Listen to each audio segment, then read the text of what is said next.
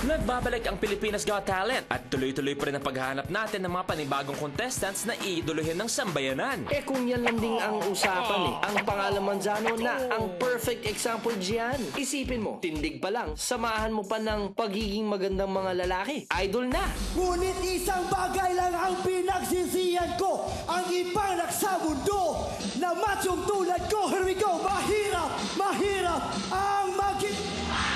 Mag-yes ako. No muna ah. Opo, thank you po No then bro. Thank you Ah, hindi manzano yan. Ang manzano lang dyan, yung kinakanta niya, mahirap talaga maging pogi. Ang mga Manzano, idol din pagdating sa forma. Come on Yeah, I would have a show like Oprah I will be the host to Everyday Christmas Give Travi a wish list I'm probably pulling in I'm sorry. Ako naman nag-yes sa'yo. Sorry bro. No.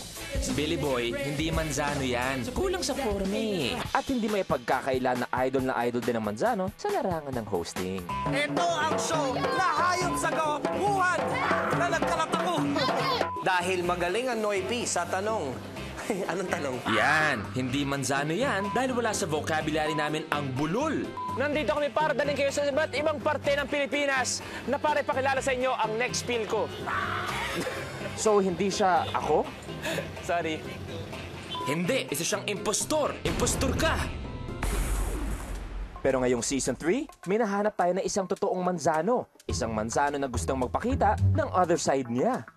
Isa pang manzano? Si sino? Sino? Uh, my name is Follower Armanzano from uh, Santo Domingo, Nueva Ecija. I'm 18 years old. Ang talent ko po ay singing with guitar.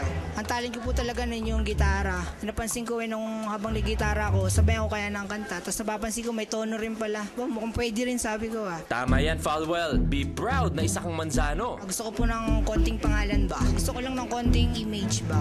Ako eh, parang binabaliwala lang ba kami pag pupunta ron. Sabi ko, pag medyo may konting pangalan ako, siguro respeto ako ng mga to. Sabi ko, sali kaya ako dito kasi kung may nakikita ako mga pumapalpak. Naku, pwede pala ako sumali dito, mas mahusay ako ng konti. Kaya, yung sumali ko. Eto pa, ang mga manzano, kilala din na mga kalog at effortless ang sense of humor. Diba, Falwell Manzano? Sep NG, Sep NG, Sep NG, yung po ang ayos. Very good po sa pag-judge. Ano po meaning ng FMG? Ah, formula. Garcia po yung dulo po nun, di ba? Feliciano. yung M po, Manzano, eh, hindi ko po kanya. May kutob ako dito na magaling to. Ako, ang kutob ko kasi sa kanya, nasa dugo eh. Sa dugo. Nasa dugo eh. Really? Diba? Ano yun eh? Yung parang, yung talent na papasa mo yan eh. Ano pilido mo bro? Manzano, sir. Ay, yun. May duda ako. Grand winner. Paglaban mo mga Manzano, ha? Good luck, Dad. Hi! What's your name? My name is Follower Armanzano, ma'am. From, uh, Falwell. Tagasan ka, Falwell? from uh, Nueva Ecija po, Santo Domingo. Ilan taong ka? Uh, coming 19 po this uh, September. Coming Ito. 19. Apelido mo raw Manzano. Yes, sir. Falwell Manzano! Baka ka mag-anak mo si Luis. Sir, palagay ko rin eh. Kay Luis, kamag-anak mo ko, Brad. Eh, mukha nga kayo eh. Sabi dito po. Oo. Oh, good luck, Falwell! Paglaban mo mga Manzano, ha? Manzano, kilalang mga awit. Eto, ang mga Manzano. Manzano nga! This way before. No, you don't think that I am trying Ambon ka!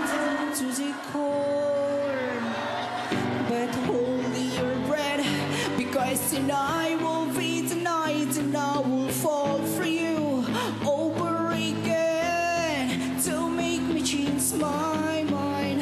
Or I won't live to see another day. I swear it's true. Because girl like you, impossible to find. They're impossible to find. This is not what I intended.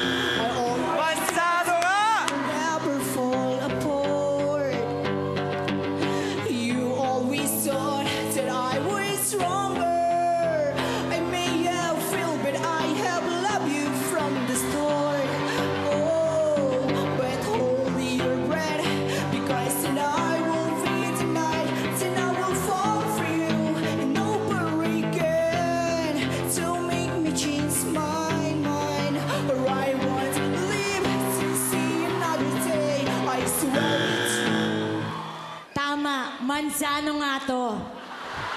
Ah, gusto ko lang magpaliwanag. Nakausap ko magulang, ampun ka. Ah, ako naman may sasabihin lang ako. Do it, do it, Duet, duet, yeah. do it. Maganda yan. Do it. Di ko alam yun eh. Come on, Luis.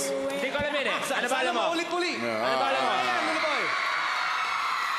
Duet. Sabi ko kanina, itayo mo ang bandera ng mga Manzano. Ang mga Manzano ay kilalang host at mga awit. Hindi rin?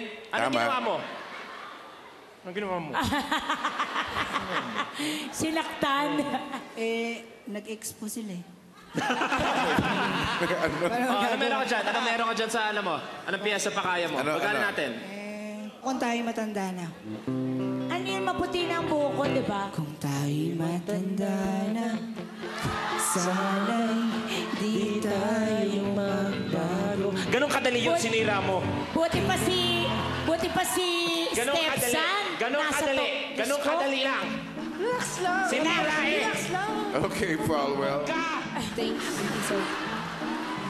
Sorry, Falwell, ah. Ako rin, no. Jano.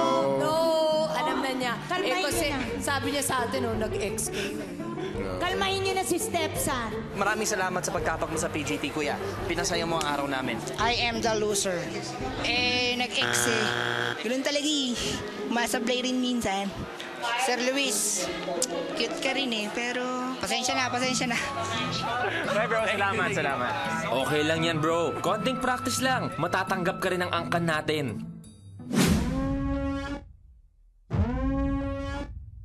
Ayan, may dugo ka. Oh, God. Come on bro. Na siya, please. Pati si Billy Boy na maraming tato. Mukhang sumuko at di kinaya ang nakita. Early warning sa mga mahihina ang puso at sikmura, huminga na ng malalim. Humawak sa katabi sa pagbabalik ng Pilipinas Got Talent.